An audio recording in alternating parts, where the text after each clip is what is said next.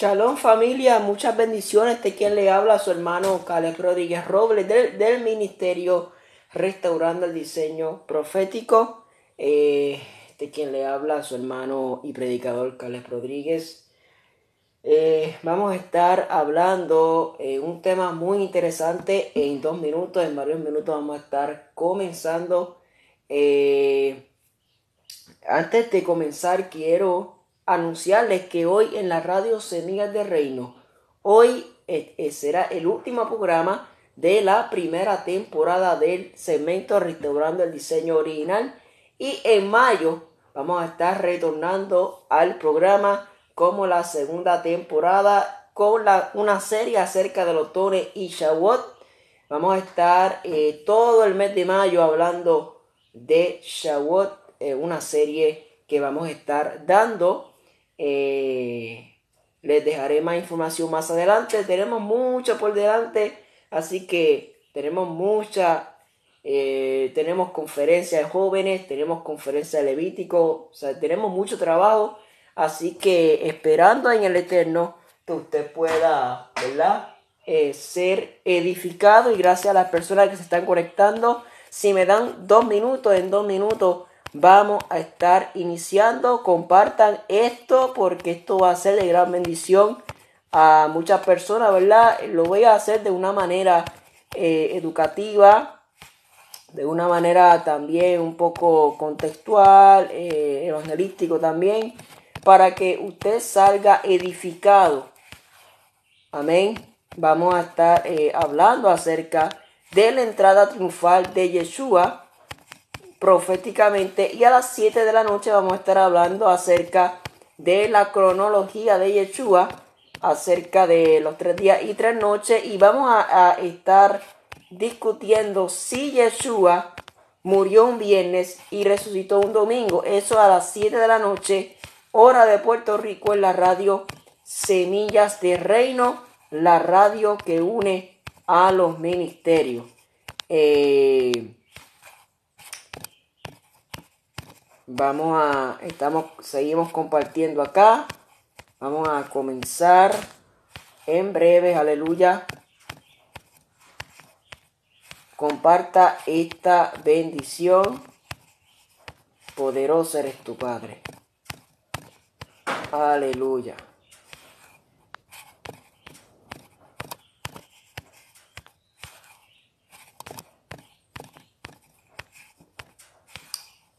Eres tu Padre. Santo eres mi Rey.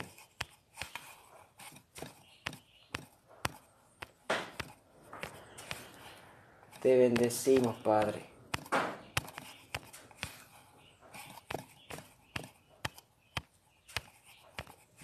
Amén, amén.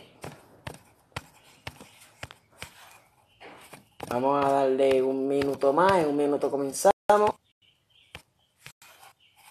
Ok.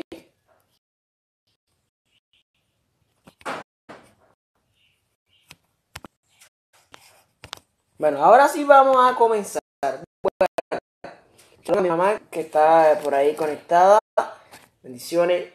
Bueno, la, eh, la entrada triunfal y su implicación profética, yo eh, puse eh, ¿verdad? Eh, puse cuatro partes por escrito, pero va a ser resumido, lo traté de, resumirlo en el día de hoy, ¿verdad? Porque es mucha información, pero quiero sacar lo más importante.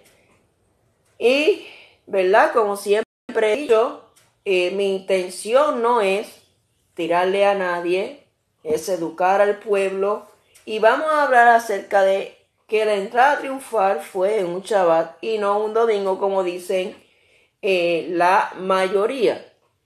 Eh, vemos entonces acá que comenzamos la cronología cuando Yeshua hizo su último viaje desde Galilea a Jerusalén, ya que esta visita ocasionará su muerte en el madero.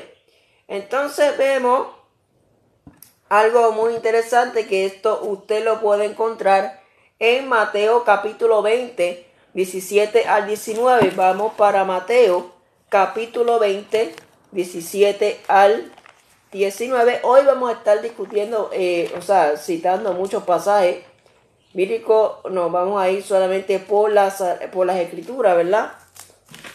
En cual yo trato de irme en las escrituras. Así que vamos, eh, Mateo 20. Ven un segundo. Mateo 20. Aquí podemos ver algo interesante porque Mateo 20, 17 al 19 dice, subiendo Yeshua a Jerusalén, tomó a sus doce discípulos aparte en el camino y les dijo, He aquí subimos a Jerusalén y el Hijo del Hombre será entregado a los principales sacerdotes y a los escribas y le condenarán a muerte. Y le entregarán a los gentiles para que le escarnezcan, le azoten y le crucifiquen, mas al tercer día resucitará. ¿Ok? Entonces vemos que Yeshua continúa profetizando su muerte y resurrección, lo que sería citado después por los sangre en la tumba vacía.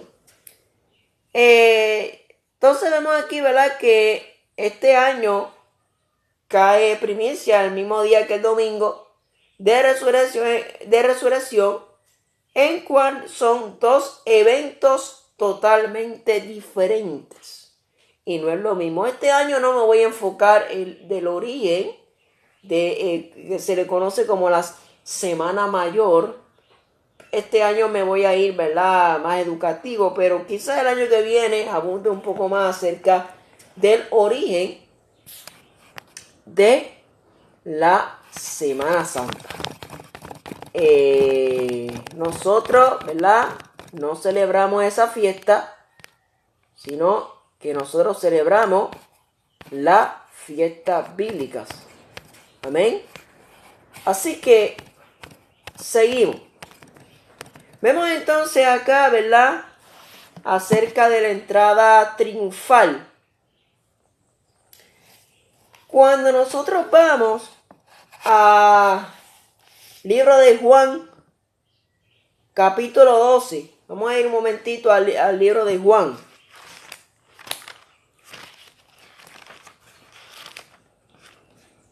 Libro de Juan, capítulo 12.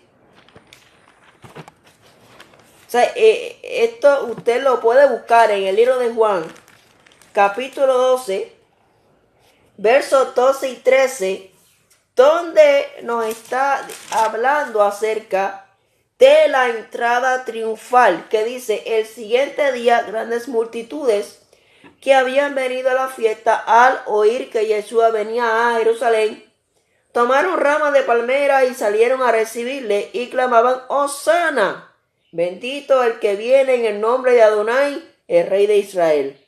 Y halló Yeshua un asnillo y montó sobre él, como está escrito, no temas, hija de Sión, he aquí tu rey viene montado sobre un pollino de asna.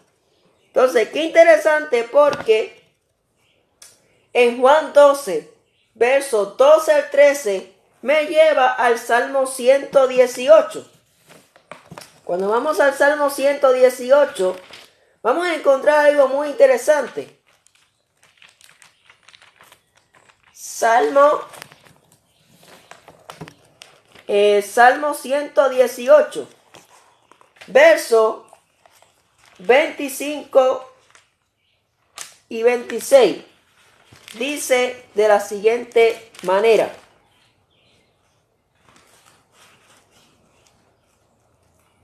Dice, ay, un segundo. Dice, Salmo 118, 25 y 26. Dice, Oh Adonai, sálvanos ahora, te ruego. Te ruego, oh Adonai, que nos hagas prosperar ahora. Bendito el que viene en el nombre de Adonai. Entonces fíjense que el verso 14 nos lleva a Zacarías 9:9, donde está profetizando, profetizado cuando Yeshua entra a un. Así que podemos ver aquí, ¿verdad? Algo muy importante y es que comienza el jueves 8 de abril, seis días antes de Pesach. Y aquí vemos que Yeshua llega a Betania, que está a 2.5 kilómetros al este de Jerusalén, y cenó en la casa de Lázaro, a quien había resucitado. María, la hermana de Lázaro, vertió un perfume en los pies de Yeshua. Este acto simbolizó la preparación para su entierro, según Juan 12, 1 al 3. Entonces, resumiendo, el sábado 10 de abril, el chaval, ¿verdad? Eh, ahí entonces es que entra a Jerusalén no fue un domingo de ramos como muchos dicen. En el día de ayer hice un post como un análisis y es si Yeshua muere un 14 de Aviv a las 3 de la tarde, vamos a hacer el conteo. Martes será el 13 de Aviv, lunes 12 de Aviv, domingo 11 de Aviv. Entonces sábado 10 de Aviv donde se examinaba ¿verdad? los corderos según Éxodo 12. Entonces, cuando eh, si nosotros analizamos, él entró en un día de Aviv a Jerusalén, que fue un chaval, no fue un domingo. Pero eso lo vamos a estar hablando esta noche en la radio Semillas de Reino, la radio que une a los ministerios, de, a los ministerios y vamos a probar que Yeshua murió miércoles y resucitó a la puerta de esos del Shabbat picando para domingo, pero no fue domingo en la mañana. Entonces, según Marcos 11, 1 al 11, nos enteramos que Yeshua fue al templo por la tarde y que regresó a Betania para guardar el Shabbat, el día de reposo. Entonces vemos que Yeshua regresó al templo en el Shabbat y echó fuera a los comerciantes a los que cambiaban dinero en el templo. Peor aún, lo hacían el día que tenían prohibido hacerlo. Así eh, vemos entonces que Yeshua así estaba purificando el templo como un cumplimiento de la limpieza de la levadura antes de pesa. Nosotros el jueves, el jueves a las 10 de la mañana vamos a dar un programa especial acerca de panes sin levadura de, de, de los siete tipos de levadura de los fariseos y entonces por la noche vamos a continuar a las 9 de la noche, ¿verdad? En la campaña de evangelística que nosotros tenemos y vamos a estar hablando un poquito acerca de panes sin levadura, que es lo que representa proféticamente. Así que vemos entonces que en ese día, el día de Aviv, el cordero que iba a ser sacrificado era seleccionado de forma que aquí eh, de, de, una forma simbólica, se inició la verificación de Yeshua como el Cordero de Adonai, quien fue encontrado libre de defectos o fallas, según el libro de Éxodo, capítulo 12, verso 2 al 5. Hasta ahí me, van entendiendo. Yo espero que usted me esté entendiendo, ¿verdad? Lo que estoy eh, trayendo. Ok. Aquí hay algo muy interesante que nosotros, ¿verdad? Tenemos que entender tenemos que ponernos los lentes hebreos y quitarnos los lentes griegos.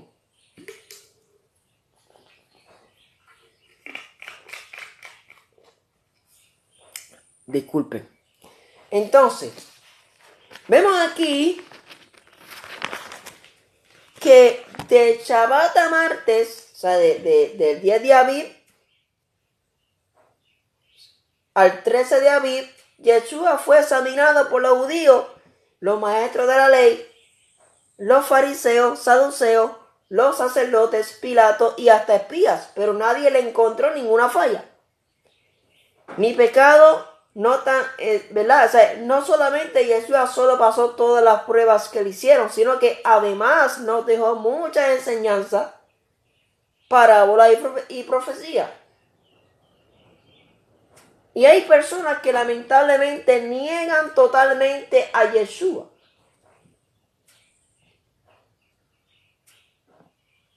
Entonces, cuando tú niegas a Yeshua, hay un problema.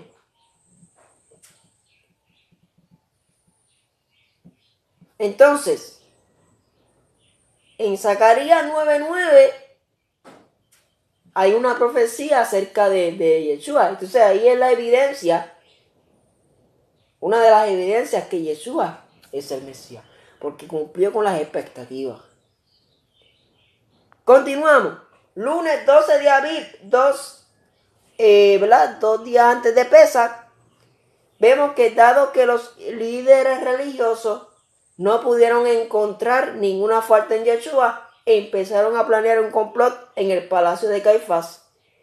Y vemos entonces que el sumo sacerdote, para deshacerse de él, eso usted lo puede encontrar en Mateo 26, 1 al 5. y si alguien que esté escuchando el video me puede poner ahí en el chat Mateo 26, 1 al 5. Vemos entonces que estaban contra el reloj porque solo faltaban dos días para pesar y panes sin levadura. Y no querían causar revueltas con los seguidores de Yeshua, quienes se multiplicaban, ¿verdad? Día a día. Entonces, les dejé aquí unos pasajes. Eh, voy a poner aquí, ¿verdad? Rapidito. Mateo 26, 1 al 5. También tenemos por aquí libro de Lucas, capítulo 22, versículo 3 al 6. También Marcos 14, Marcos 14. ¿O no? Ok. Vemos entonces que el miércoles, el 14 de abril, de 9 a 3, vemos la crucifixión de Yeshua. Pero recuerde que el 13 de abril, Yeshua cena con los discípulos. Entonces no, no me voy a enfocar si Yeshua celebró pesa o no. Eso no, o sea, eso no viene al caso. Pero lo importante es que fue una cena íntima con sus discípulos. Una cena de convenio. El anuncio de un convenio. Y cuando Yeshua resucita y se cumple el convenio. ¿Ok? Para las nueve de la mañana Yeshua ya estaba crucificado y durante tres horas la gente y los sacerdotes se burlaron de él, inclusive los criminales que estaban siendo crucificados junto con él. Y eso usted lo puede encontrar en, eh, el libro de Mateo, capítulo 22 35 al 44 y en el libro de Marcos 15, 25 al 32. Luego sucede un milagro en cual uno de los criminales se arrepiente, ¿verdad? Eh, eso usted lo puede encontrar, ¿verdad? En el libro de Lucas, capítulo 23, 41 al 43, que fue el ladrón que se, que se arrepintió. Amén. Entonces, Vemos aquí que al mediodía toda la tierra quedó cubierta por la oscuridad durante tres horas y vemos que sirve un preámbulo para el peor momento porque recuerden que la copa que Jesús había pedido al Padre no, no pasará. Eh, entonces eh, vemos que cuando todos los pecados de la humanidad presente, pasado y futuro fueron adjudicados a él, lo que causó la separación temporal de Yeshua y su Padre algo que Yeshua nunca había experimentado en toda la eternidad. Entonces vemos que en el templo los sacerdotes estaban haciendo los sacrificios de pesas del día de preparación, según número 28, 16 al 25, y en paralelo estaba ocurriendo la crucificación, la crucifixión de Yeshua. Entonces vemos que al final de las tres horas, Yeshua grita. Es esa expresión que dice Eli, eh, Eloi, Eloi, lama sabactani. Porque era, era un dolor tremendo, eh, Dios mío, Dios mío, ¿por qué me ha desamparado? O sea, Yeshua humanamente digo esas palabras. Y posiblemente tú estés pasando un momento difícil donde tú pienses, le has dicho al Padre, ¿por qué me has desamparado? Pero tenemos que entender que nadie, nadie ha pasado lo que Yeshua pasó. Sí, vamos a pasar el proceso difícil, claro, pero lo que pasó, lo que pasó Yeshua no se compara con las pruebas que nos vienen a nosotros. Así que vemos que a las 3 de la tarde Yeshua encomienda su espíritu al Padre. Según Juan 19, eh, Juan 19:30. Entonces vemos que del miércoles 3 a 6 eh, miércoles, ¿verdad? De 3 a 6.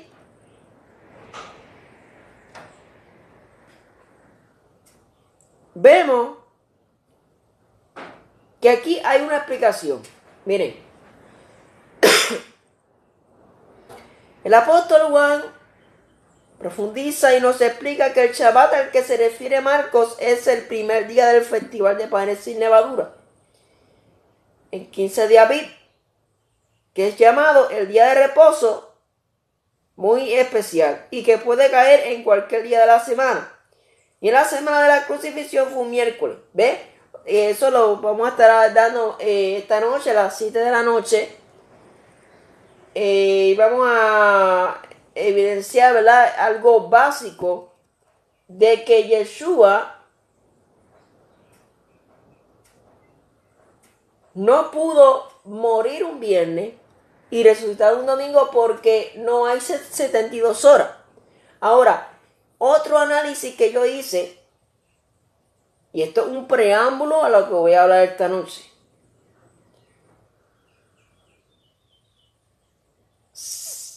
Hagan el conteo.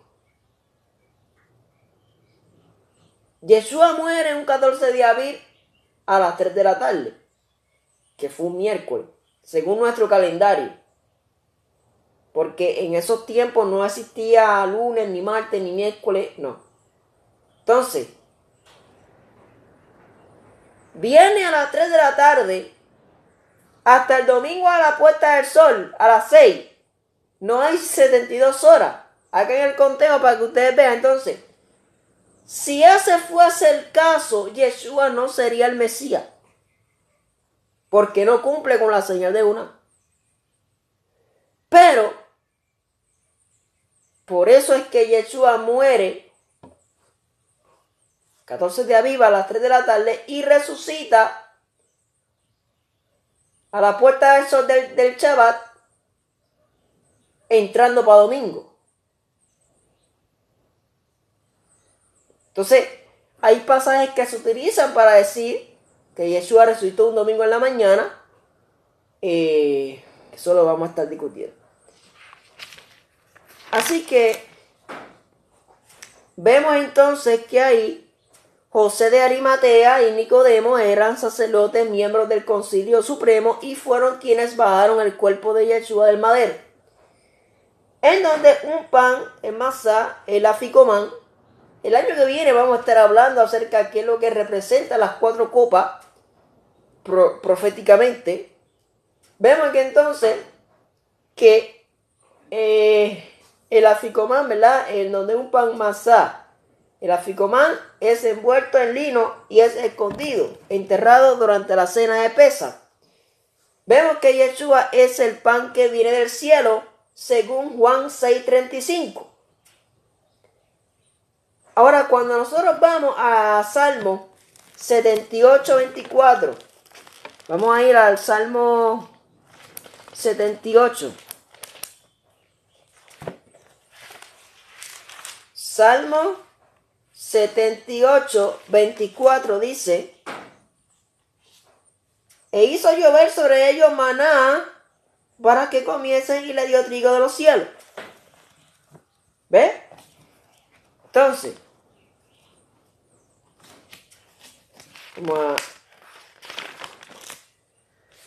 Entonces vemos